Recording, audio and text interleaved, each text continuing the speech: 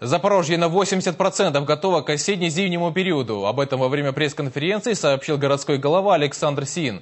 Первым делом к отопительному сезону подготовили большую часть котельных. Из 56 котелен к эксплуатации уже готовы 45, а профилактический ремонт центрального отопления и водоснабжения завершен на 70%. Что же касается ремонта дорог, то на данный момент КП «Луада» отремонтировала 15,5 тысяч квадратных метров. Отремонтированы кровли 262 домов общей площадью свыше 76 тысяч квадратных метров.